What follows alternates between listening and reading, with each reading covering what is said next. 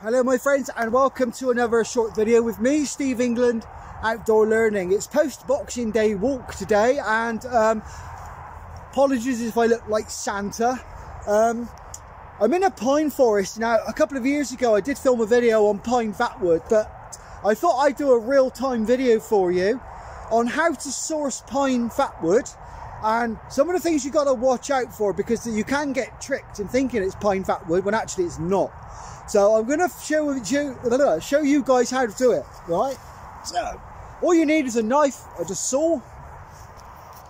And you can see, guys, I'm in a pine forest. There's some dead pine trees there. Now, what you need are the dead branches on pine. This won't work on live pine. You can see here, guys, uh, your dead pine tree there, a dead pine stump. And Teddy helping.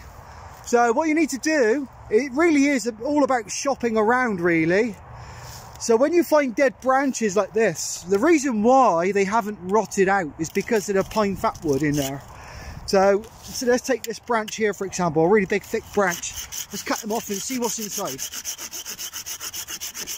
Might be some, might be none. Watch out Teddy, good boy. There you go. Look at that, loaded with pine fatwood. Can you see that? Look at that. And if you look at the other end, can you see the colour?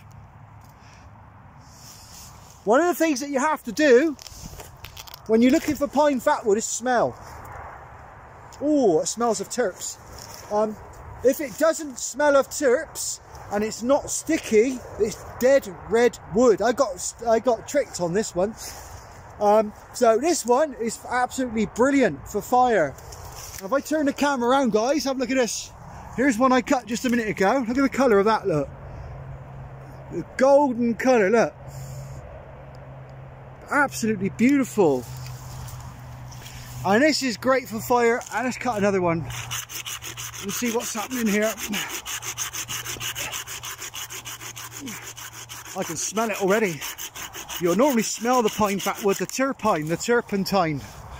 Whoa, crikey, look at that. Look at the colour on that. There you go.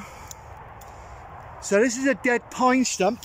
And if I get the piece I've just cut off and show you guys the end. There you go, you can see the fat wood there, look. Look at that. That's... Oh.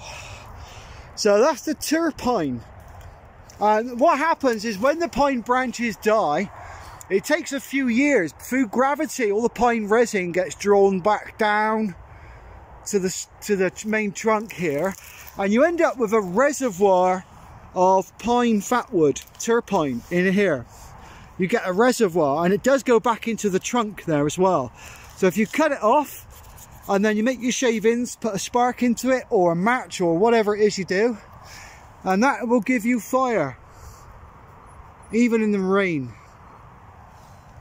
Absolutely brilliant. So there you go guys. A short little video on how to source pine fatwood go to a pine forest and you have to do your shopping around because not all pine species have it. This is Scots pine and it's loaded with it. Um, but it is fun and then once you've found an area where you know there's lots of pine fatwood put it in a diary. Keep a, a diary of where it is. And then like me you can come back every whenever you want to and just collect some pine fatwood absolutely brilliant. So i'm going to go and collect some pine fatwood guys ready for my events in the um, spring and summer. Hopefully i'll do some bushcraft events later on. So for details and information guys keep your eyes out on my website steve england or join my steve england outdoor learning facebook page Anyway guys, short video on how to source pine fatwood. Take care.